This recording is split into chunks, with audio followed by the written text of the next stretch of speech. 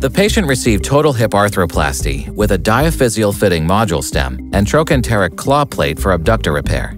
After being placed in the lateral decubitus position, a standard posterior approach to the hip was extended into a lateral approach and carried distally to Gerdy's tubercle.